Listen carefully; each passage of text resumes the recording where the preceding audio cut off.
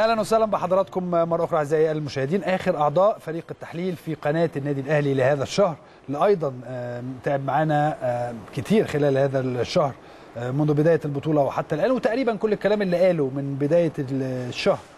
أو قبل بداية البطولة حتى دلوقتي لغاية دلوقتي هو اللي حصل. قال لك واحد من الاثنين يا فيكتور جوميز يا أليوم هو اللي هيحكم المباراة النهائية.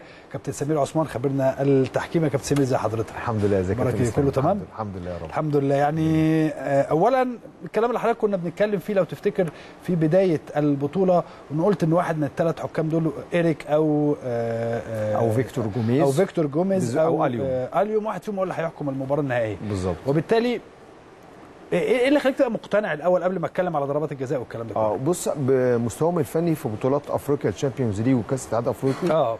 علاوة بقى إن أول مباريات لعبوها في البطولة برضو الثلاثه كانوا مستواهم مميز آه. جدا. مع الإضافة ممكن نضيف عليهم طبعا رضوان جيد من المغرب بس كانت كل الاتجاهات والمؤشرات من وجهة نظري أنا فنية. آه أليوم لعب مباراة الافتتاح مصر وزيمبابوي كان رائع لعب مباراة كبيرة جدا. بعد كده المغرب وكوت ديفوار كان آه. عامل مباراة كويسة جدا. وفيكتور جوميز نفس القصة. اللي رجح فيكت آه، يعني كفة آه، أليوم إلى حد كبير. خبرة. خبرته. برافو عليك.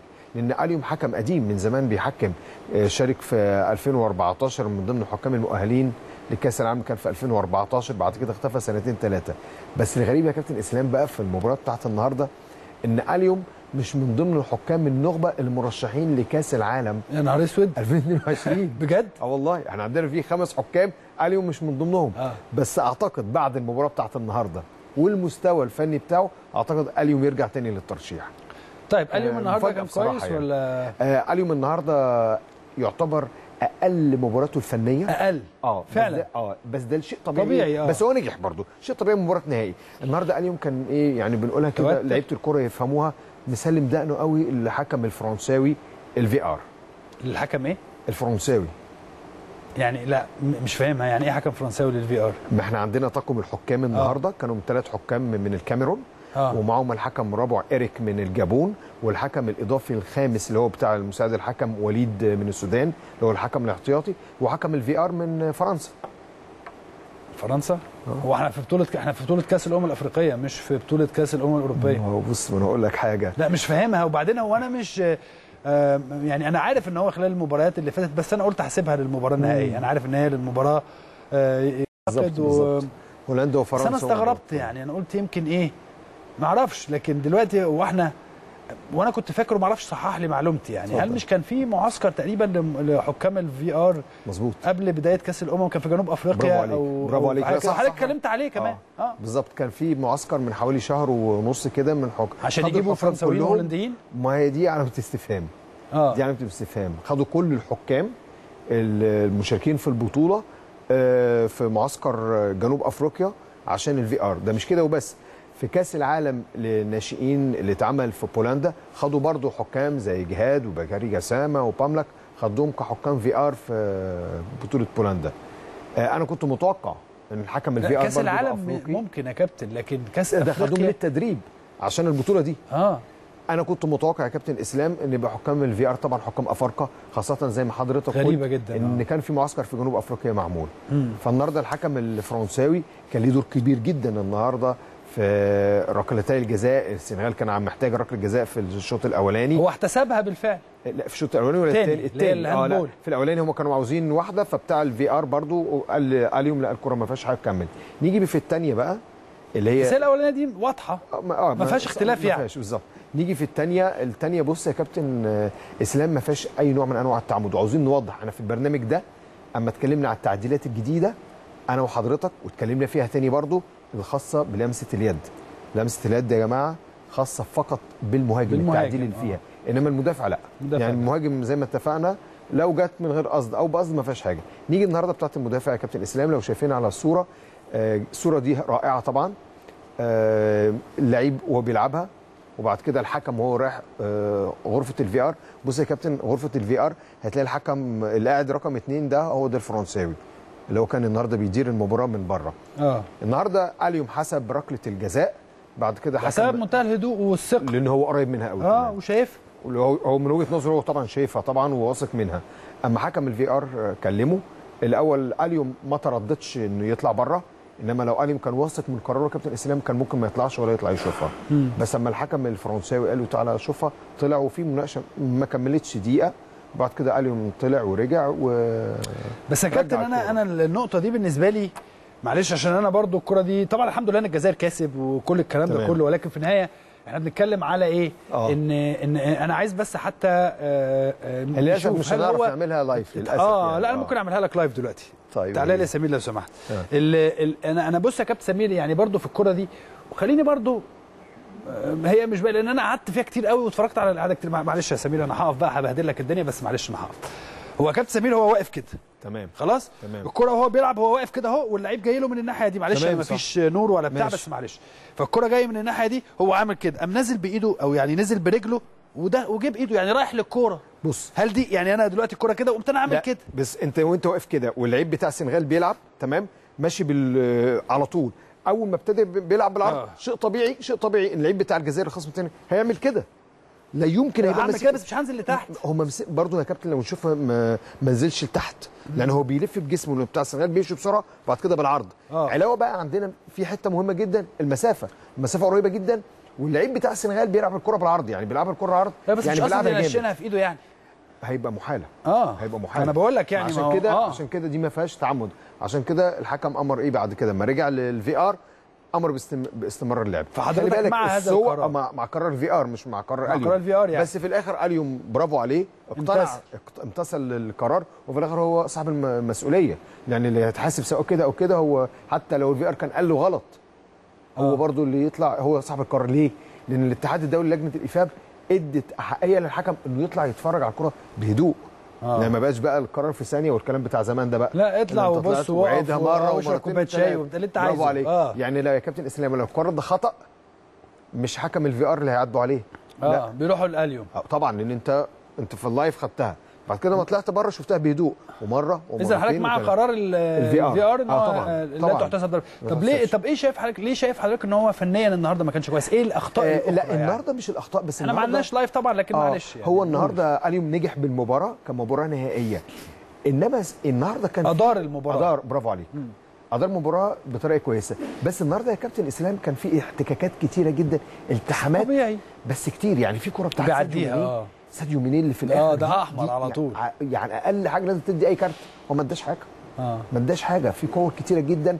طبعا ده أسلوب برضو تكتيك من الجزائر.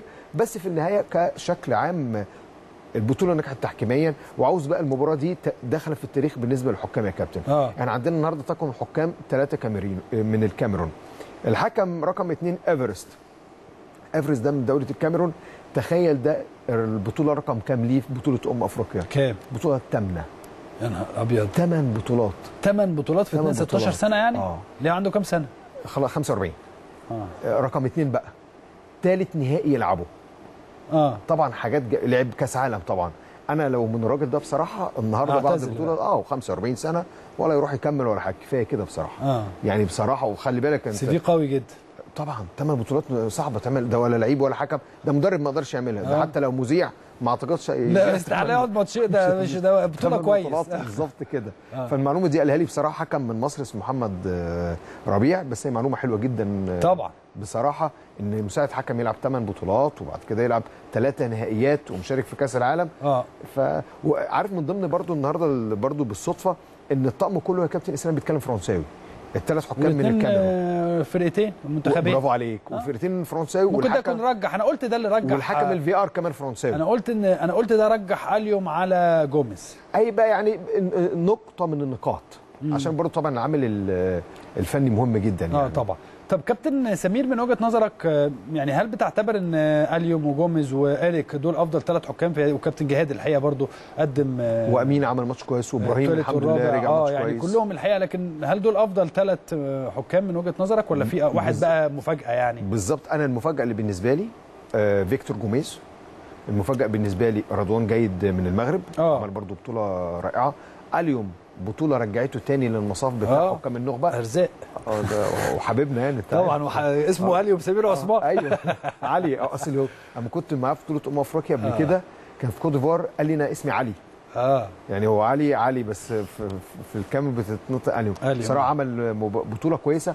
أعتقد هترجعه تاني من ضمن الناس المرشحة بإذن الله لكأس العالم في 2022 إن شاء الله. فأنت شايف إن الثلاث حكام دول هم الأفضل؟ بالظبط. وعاوز أقول لك كمان أنا شايف بصراحة البطولة دي تحكيمية. أيوة. بصراحة وده. ما تقلش عن 9 من 10 9 ونص من 10 ياه. عمل ما سمعناش بيني وبينك صح عن. عن خ... يعني حاجات كتيرة خواطر خرجت بسبب خ... التحكيم. حاجات خطر آه. وأنا شايف اللي رجع النقطة دي يا كابتن السلوك الرائع للعيبة. آه. اللعيبة كلهم كانوا محترفين ومحترمة النهاردة والسنغال والجزائريين النهارده حاجة جميلة حاجة جدا. أخلاق أوروبية أنت بتتفرج عليها.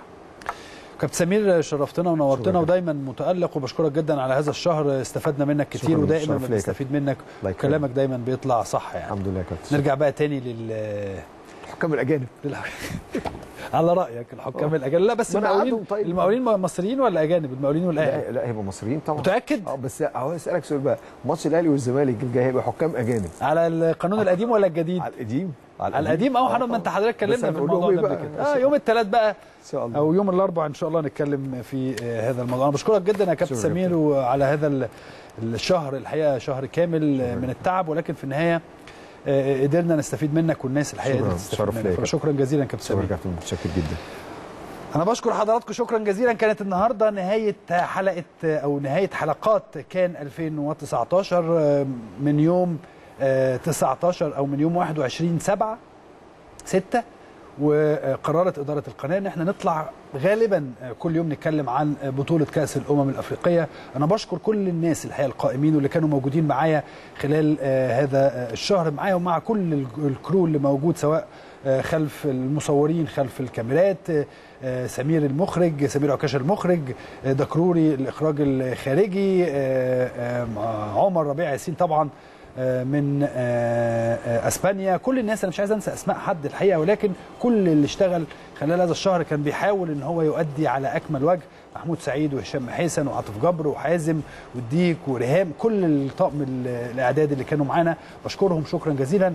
ويعني أتمنى آه، باسمي بقى أو يعني أنا اللي بتكلم دلوقتي أمام حضراتكم كل الناس كل الناس دي تعبت جدا خلال الشهر ده علشان تطلع لحضراتكم حاجة تليق بجمهور النادي الأهلي وتليق باسم قناة النادي الأهلي. أنا في الآخر اللي ببقى قدام حضراتكم ولكن الناس كلها تعبت وتعبت أكتر مني بكتير جدا جدا جدا خلال هذا الشهر. فأنا بشكركم إن شاء الله بقى نبتدي نرجع مرة أخرى آه، نشوف المباريات القادمة مباريات الدوري. عندنا مباراتين مباراة المقاولين يوم آه، الأربع. هكون مع حضراتكم إن شاء الله يوم الثلاث سبت وحد واثنين آه، بقية البرامج هتبقى شغالة. لكن إن شاء الله يوم الثلاث أنا أرجع مع حضراتكم مرة أخرى أنا وطاقم الاعداد بتاعي. بشكر حضراتكم شكرا جزيلا. ألف ألف مبروك للمنتخب الجزائري ويجب الإصلاح الإداري خلال الفترة القادمة. هننتظر إيه اللي هيحصل خلال هذا الأسبوع. من الممكن أن نرى مفاجآت في آه، الشكل كرة القدم أو في شكل إدارة كرة القدم خلال هذا الأسبوع. كل الأمنيات الطيبة لكرة القدم المصرية. آه، بشكر الجمهور المصري على أدائه خلال شهر كامل من في البطولة. بشكر الحقيقة كل القيادة السياسية متمثله في الرئيس عبد الفتاح السيسي الحقيقة اللي كان سند وظهر في كل آه، أو طوال أيام البطولة من ابتداء من شهر واحد اللي فات لغاية آه، أول يوم في بداية آه، البطولة أو لغاية آخر يوم في نهائي البطولة. سند وظهر الحقيقة جامد جدا. الكل الحقيقة ال- ال- الرئيس ورئيس الوزراء ووزير الشباب والرياضة بشكر أستاذ محمد كامل شركة برزنتيشن عاملة مجهود رائع جدا جدا جدا. محمد فضل مدير آه، البطولة.